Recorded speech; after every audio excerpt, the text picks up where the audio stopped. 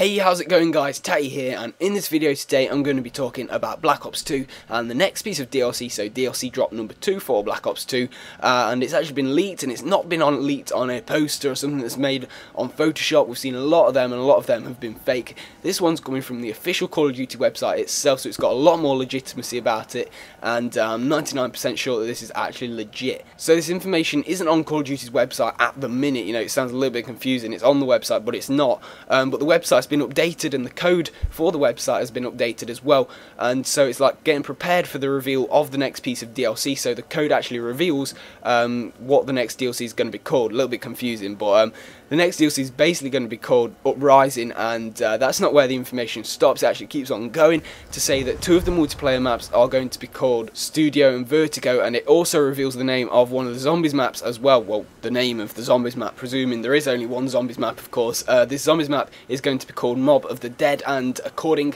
to this source code, it says it is going to be Treyarch's most terrifying zombies experience ever. So, uh, sounds pretty scary but I'm up for some of that stuff. It sounds really cool. Uh, there's no images attached to this, or the image links have been broken, so you can't see any images of what any of these maps are going to be like. But um, Vertigo was a piece of DLC that Modern Warfare 3 released. It was actually a Spec Ops mission, I think, uh, and uh, it was basically set on the, on the rooftops of some building in Dubai, I think it was.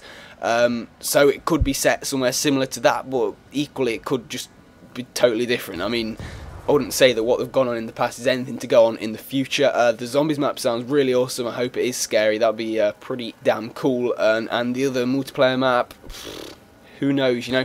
Um, hopefully there's going to be some more multiplayer maps, not just two, um, but I'm pretty sure there will be. But that's all the information that this source code actually revealed. And um, the, the official reveal is going to be coming pretty soon because somebody asked David Vonderhaar on Twitter when's the next reveal for the, for the DLC going to be? And he basically replied saying it's going to be pretty soon. They've done some recording and started editing, and it's going to be pretty soon. So I'd expect a trailer within like the next week or two, especially since this leak has uh, has, has basically sped up the whole process and it's let everybody know what the next piece of DLC is going to be. So that's all the information I have for now. Just a quick, massive thank you to any of you guys that have subscribed. Uh, just hit 5,000 subscribers literally like a second ago. So thank you so much for that. I never never realised I'd get this big. It's just amazing.